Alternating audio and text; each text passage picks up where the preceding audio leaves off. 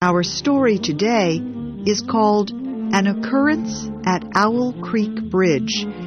It was written by Ambrose Bierce. The occurrence, or event, in our story takes place during the Civil War of the 1860s between the American states of the North and the states of the South.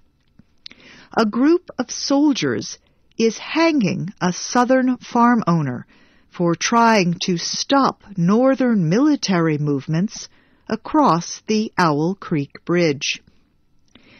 In the last moments of his life, the Southern prisoner dreams he has escaped, and everything that happens in the story is really the images in the prisoner's mind just before he dies. Here is Shep O'Neal with our story. A man stood on a railroad bridge in Alabama, looking down into the swift waters of the Owl Creek River below. The man's hands were tied behind his back. There was a rope around his neck. The rope was tied to part of the bridge above him. Three soldiers of the Northern Army stood near the prisoner, waiting for their captain's orders to hang him. Everybody was ready. The prisoner stood quietly. His eyes were not covered. He looked down and saw the water under the bridge. Now he closed his eyes. He wanted his last thoughts to be of his wife and children, but as he tried to think of them, he heard sounds again and again.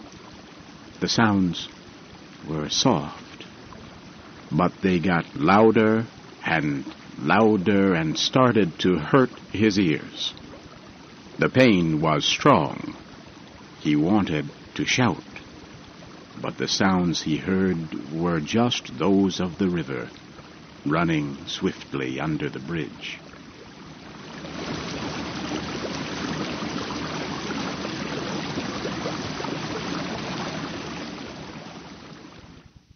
The prisoner quickly opened his eyes and looked at the water. If I could only free my hands, he thought. Then I could get the rope off my neck and jump into the river.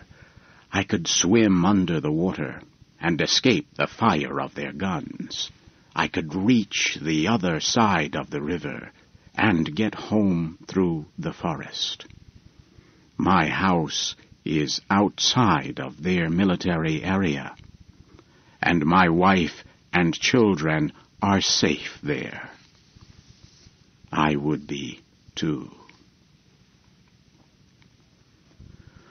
While these thoughts raced through the prisoner's mind, the captain gave the soldiers the order to hang him. A soldier quickly obeyed. He made the rope firm around the prisoner's neck. Then he dropped him through a hole in the bridge. As the prisoner fell, everything seemed black and empty. But then he felt a sharp pain in his neck and could not breathe. There were terrible pains running from his neck down through his body, his arms, and his legs. He could not think. He could only feel a feeling of living in a world of pain. Then, suddenly, he heard a noise, something falling into the water. There was a big sound in his ears. Everything around him was cold and dark. Now he could think. He believed the rope had broken, and that he was in the river. But the rope was still around his neck, and his hands were tied. He thought, How funny. How funny to die of hanging at the bottom of a river. Then he felt his body moving up to the top of the water. The prisoner did not know what he was doing, but his hands reached the rope on his neck and tore it off. Now he felt the most violent pain he had ever known. He wanted to put the rope back on his neck. He tried, but could not. His hands beat the water and pushed him up to the top. His head came out of the water. The light of the sun hurt his eyes. His mouth opened, and he swallowed air. It was too much for his lungs. He blew out the air with a scream. Now the prisoner could think more clearly. All his senses had returned. They were even sharper than before. He heard sounds he never heard before that no man's ears ever heard. The flying wings of small insects, the movement of a fish. His eyes saw more than just the trees along the river. They saw every leaf on the trees. And they saw the thin lines in the leaves. And he saw the bridge, with the wall at one end. He saw the soldiers and the captain on the bridge. They shouted and they pointed at him. They looked like giant monsters. As he looked, he heard gunfire. Something hit the water near his head. Now there was a second shot. He saw one soldier shooting at him. He knew he had to get to the forest and escape. He heard an officer call to the other soldiers to shoot. The prisoner went down into the river, deep, as far as he could. The water made a great noise in his ears, but he heard the shots. As he came up to the top again, he saw the bullets hit the water. Some of them touched his face and hands. One even fell into the top of his shirt. He felt the heat of the bullet on his back. When his head came out of the water for air, he saw that he was farther away from the soldiers, and he began swimming strongly. As he swam, the soldiers fired their rifles. Then they fired their cannon at him but nothing hit him.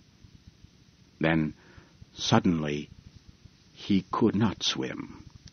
He was caught in a whirlpool which kept turning him around and around. This was the end, he thought. Then, just as suddenly as it had caught him, the whirlpool lifted him and threw him out of the river. He was on land. He kissed the ground. He looked around him. There was a pink light in the air. The wind seemed to make music as it blew through the trees. He wanted to stay there. But the cannon fired again, and he heard the bullets above his head. He got up and ran into the forest. At last, he found a road toward his house. It was a wide, straight road. Yet it looked like a road that never had any travelers on it. No farms, no houses on its sides, only tall, black trees. In the tall black trees the prisoner heard strange voices. Some of them spoke in words that he could not understand. His neck began to hurt. When he touched it, it felt very large. His eyes hurt so much that he could not close them. His feet moved, but he could not feel the road. As he walked, he was in a kind of sleep, now half awake, half asleep. He found himself at the door of his house. His lovely wife ran to him. Ah, at last. He put his arms about his beautiful wife. And just then he felt a terrible pain in the back of his neck. All around him there was a great white light and the sound of a cannon. And then, then, darkness and silence. The prisoner was dead. His neck was broken.